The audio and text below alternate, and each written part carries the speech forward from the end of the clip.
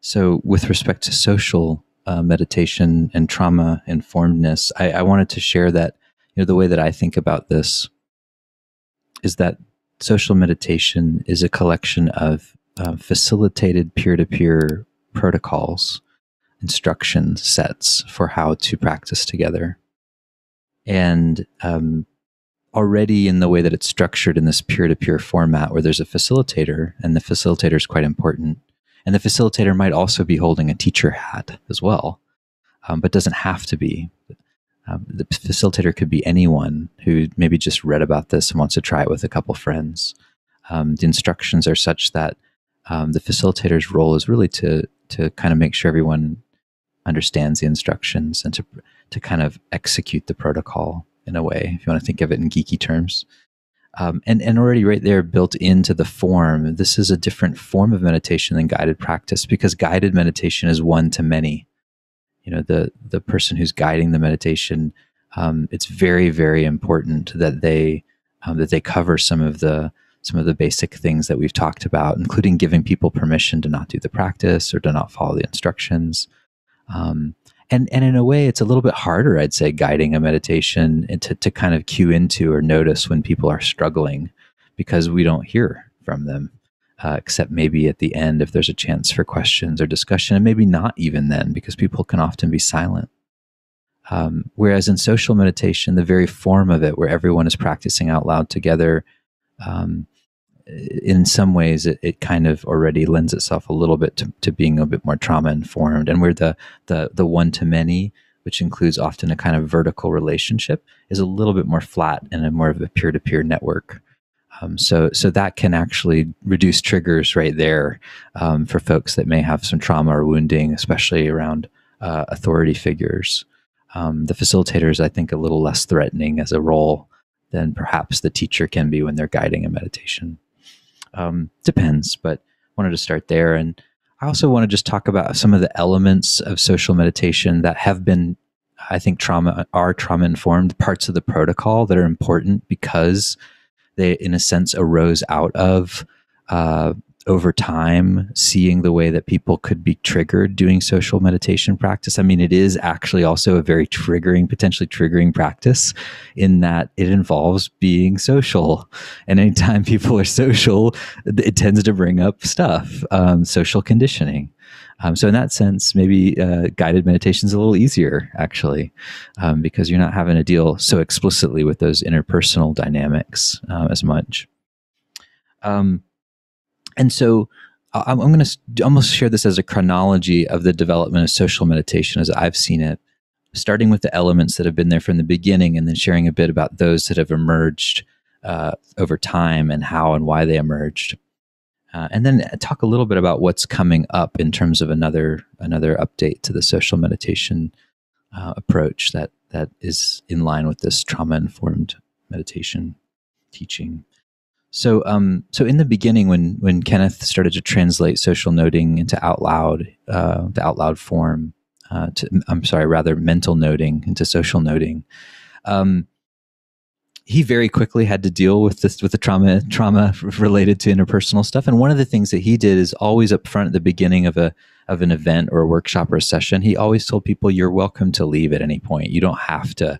to continue to st- sit through this or stay here you, you're it's you, he, he, reminded people that uh, or he he in, invited people to to leave and said it's okay he tried to normalize that um, I think this was a kind of a first attempt at, at, at, working with the possibility that these practices and, and the reality that these practices will bring stuff up for people. Um, and then another thing that I think is part of the protocol that's trauma informed um, from the very beginning was this uh, instruction of what he called the safety release valve. Um, and that it started with social noting, where it, at any point, if you don't know what to say in the practice, you can always say pass or don't know or uncertain or some variation on that theme. Now we've added thank you, which seems to work well, uh, especially doing social metta practices. It's been a recent addition over the course of the last six months and um, this really, in some sense, uh, works with the the possible pressure that can build up in a social situation where you feel like you're compelled to have to say something and then might not know what to say or might feel like I'm not sure what to say and I got to come up with something anyway. And that can kind of snowball for some people, um, particularly if they have a history of social anxiety or they, you know, this this is a challenging environment for them to be in. So the safety release valve just lets some of that pressure off. You know, gives people a place to go when they don't know what to do. Um, so I think that's very a very trauma informed move that Kenneth came up with. And although this seems kind of mundane and simple, I mean, just the very part of the protocol where we ask if there are any questions about the practice, I think is also an important part of the trauma informed orientation because um, it is actually the case that in many uh, communities, people are given instructions and then they're just expected to do the thing without having without being able to air express any questions. I think maybe for some of us we might take that for granted because we've spent more time in environments that are aware and sensitive to giving people a voice and letting people ask questions.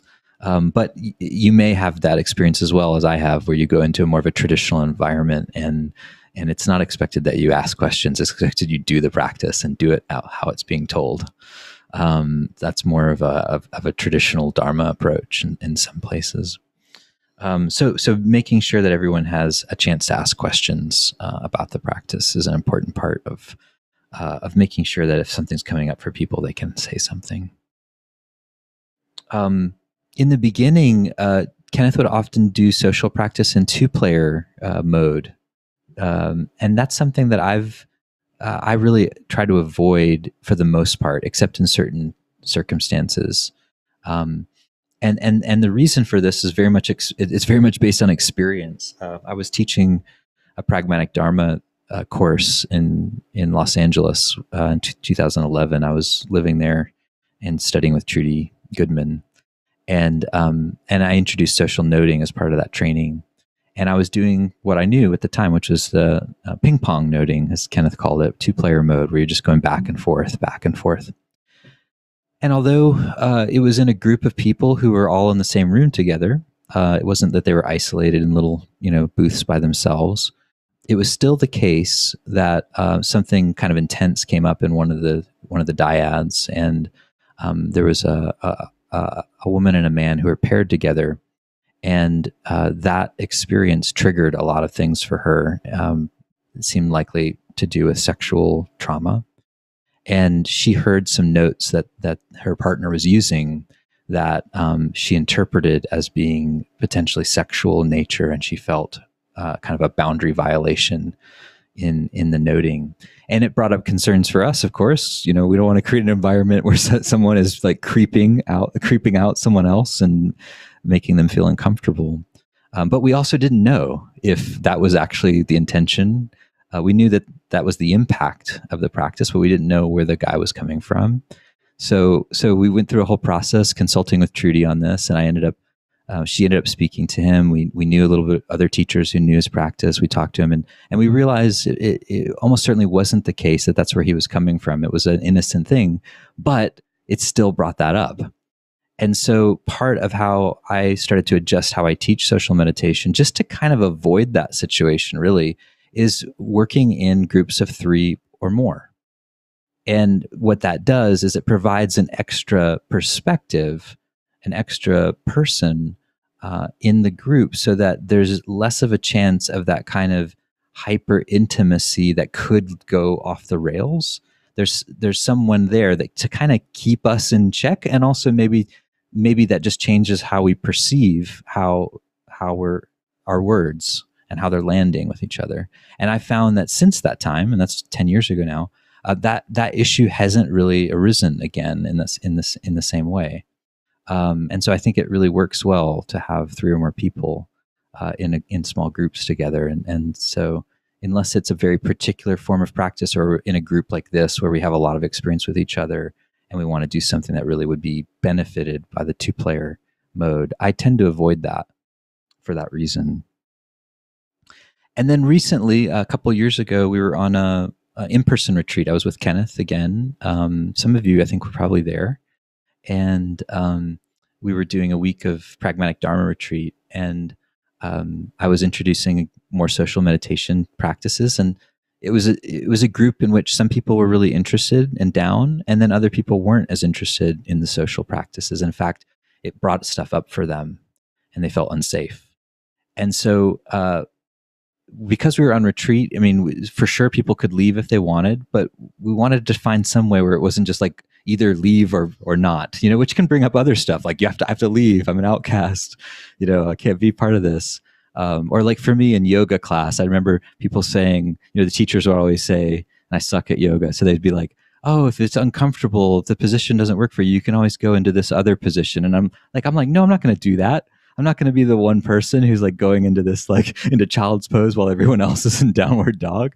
So there's social pressure, you know, to to to to participate, and I and I get that's a real thing. So what we what we came up with in response to that uh, was the witness, the role of the witness, and we said, okay, if anyone would like to witness the practice to be an observer, you can go. Uh, we have a circle of chairs here, and anyone can go over here. They've got a little uh, a witness section set up here. You can go sit and just witness and Kenneth went and witnessed. He wanted to witness some of the practices. He didn't feel comfortable doing some of them, which surprised me. But I was like, oh, cool. Well, that's that makes sense. You you like social noting, but don't like this other thing. That's fair. And uh, other people took advantage of that. And then from from that point on, it became baked into the protocol. You know, a, an opportunity in every practice for people to be able to participate as a silent observer. And and really, a lot of folks do for various reasons. Um, one, if they don't feel safe or they don't know the technique or maybe they've just got like a dog in the background barking or they're on you know in a taxi or you know they're just feeling silent doesn't matter what the reasons are um, it's an important part of the of the protocol now and how we teach uh, social meditation. Um, another way that i found that this practice and this protocol can be trauma informed and this is more of a move that the facilitator needs to make themselves is if they if they do have anyone in the group that they have some concerns about and say they're sending people into breakout rooms they you know as a facilitator you can choose to go in the room with someone you can choose to actually put yourself in a position where you're where you're present with someone who you, who you think might be you know potentially have uh, something coming up for them or potentially could have some issues based on you know however you know that or, or however you'd sense that. Um, and i found that to be quite helpful. You know that way you can you can be there, you can be present, you can be a steadying uh, presence, and um, you know, and you can learn more about what's going on for someone and just get a better sense of things. So that's that's another way that that facilitating these practices can be trauma informed. And then outside of the practice, when we do a debrief, um, when we either a quick one where you're just getting a couple words on how things went, or a more extended debrief where people can share more ask questions. That's an opportunity to really see how it went for people and to get actual data, you know, on how it went. And and I think there there's an opportunity if you've noticed someone has really um, gotten triggered, if they've said something or they're having really extreme, intense emotions, they're crying a lot, which is not necessarily a problem, but you know, it can be an indicator sometimes that someone uh, someone's uh, looping in a in a trauma pattern. Um, they get really angry, you know, and uh, have an outburst, whatever it is, you know, you, we can follow up with that person actually. You know, we get that data about how it went, and then we actually could follow up. And I've done this many times where I'll just follow up with someone and say, "Hey, you know, just want to make sure you're, you know, you can, you're welcome to reach out if you have any questions, or um, just want to make, you know, I, I noticed X. Just want to see if there's anything you wanted to talk about. Just make myself available, essentially.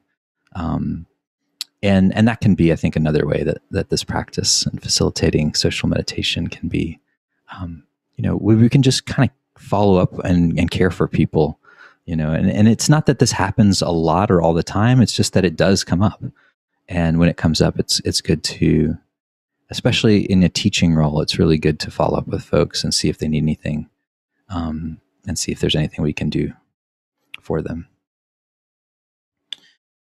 And then the last thing I want to mention, which is kind of um, it's been a recent development, and it's more it's going to be kind of more um, explicit in the the 2.0 version of the social meditation guide. So right now we're on 1.0, working on 1.5, adding a bunch of new practices, and then also at the same time working on um, being able to vi- visually I, I, uh, identify the name of the practice, um, a little bit of like you know, which ways of meditation does this particular technique touch on of the six ways?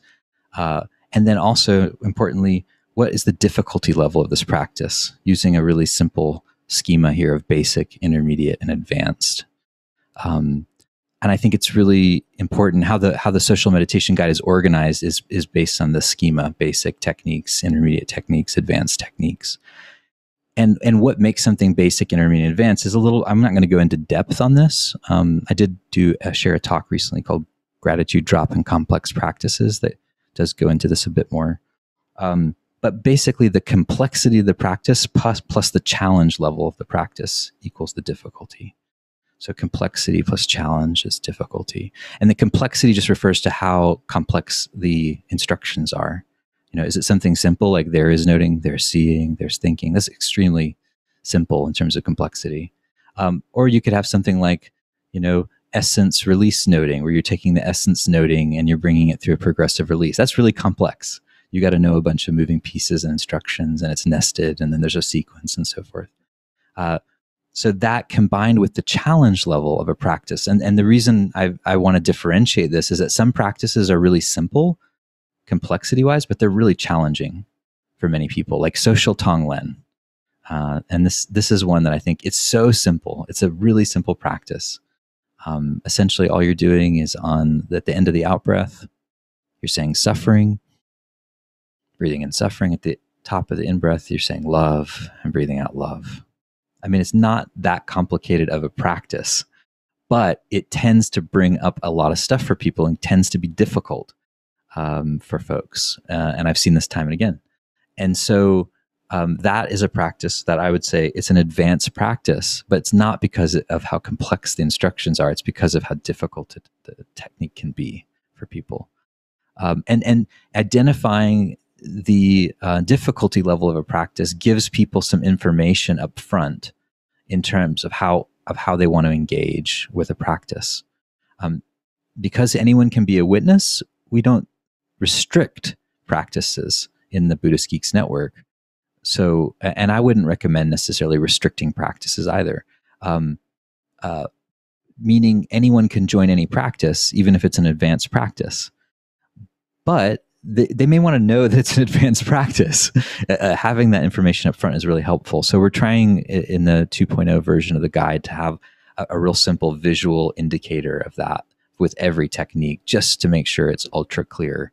You know that you're you're getting into an advanced practice, or this is a basic practice, and so forth.